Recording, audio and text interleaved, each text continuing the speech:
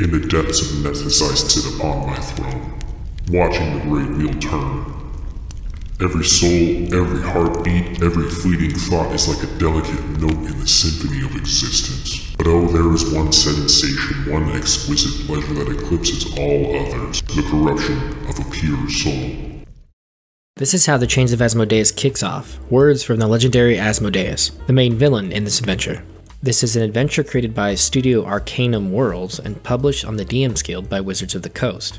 And there's really been no noise from this thing from Arcanum nor Wizards. For myself, I was perusing the DM's Guild and found a brand new supplement that hit bestseller in a matter of days. Now this is curious because that usually doesn't happen without big marketing. Maybe the appetite for a product like this is so large that a DM's Guild banner ad was good enough. In any case, miraculous. And people are demanding this to be printed, and with good reason because it's great. But first, let's talk a little about who developed this and why. Chains of Asmodeus was developed by Arcanum Worlds, a studio that enjoys the talents of some of the folks from old BioWare that developed projects such as Baldur's Gate and Knights of the Old Republic. And this book is for charity. Similar to previous DM's Guild titles, this text supports the work of Extra Life. Right, so what's in it? The store page boasts 50 plus high challenge monsters, stat blocks for Asmodeus, 20 plus infernal magic items, new item corruption mechanics, details on all layers of the Nine Hells, with maps created by John Stevenson, and it is an adventure for levels 11 to 20. The text is 285 pages and gives each layer of hell a chapter, complete with stat blocks, NPCs, magical items, and player handouts. The book begins by introducing the Nine Hells and discussing their origins from Dante's Inferno and how sin need to be the center of the Nine Hells adventure. Inferno is a Judeo Christian work, so the sins discussed here are from that angle.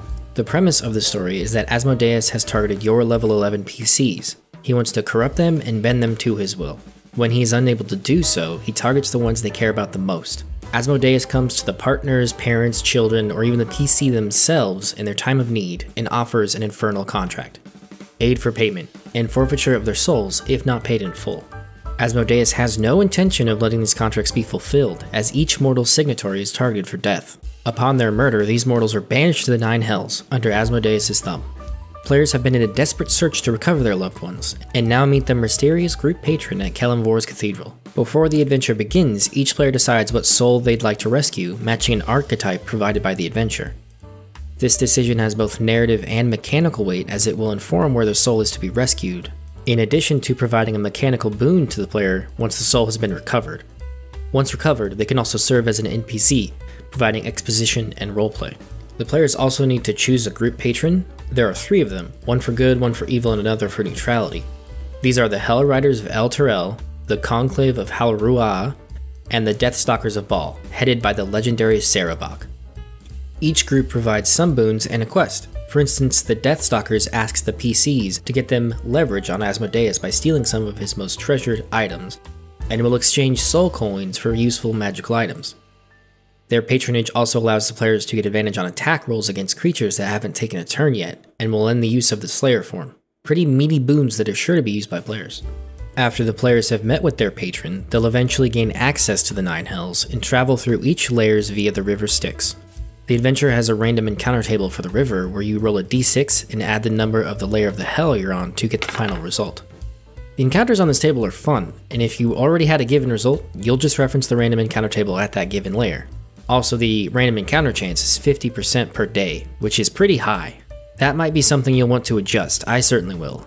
However, I would probably just go down the table and assign where each of these encounters are going to take place, because I want to run them, and just throw in a random encounter when I feel like it. Each layer of hell gets its own chapter, and has neat adventuring locations for the PC to look for their lost loved ones. The character Ko Tom is the captain of the barge and will offer some guidance on each layer and where they might locate their loved ones, meaning the PCs will not need to visit every location on a given plane, and where they go will be influenced by which loved one and which group patron the players chose. And after the PCs have trudged their way through the 8 layers and made it to the ninth, the home of Asmodeus, they'll need to find a way to break the contracts. This can be achieved in two ways. The first is to travel to a place of learning called the Oasis of Leth. it's here that the PCs can peruse the Infernal Law library and locate the loopholes for their contracts.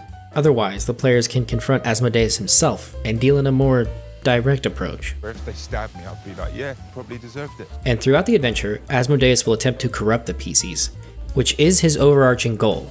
When the PCs do give in to corruption, they gain 2 corruption points. You'll keep track of each PC's corruption points, and that will help inform the final outcome of the adventure. For example, a character with 4 corruption points is considered corrupt and will be damned to the Nine Hells after they save their loved ones. These temptations can be tantalizing or drastically alter play. For instance, the Liar temptation awards expertise in deception at the cost of the player now having trouble telling the straight truth.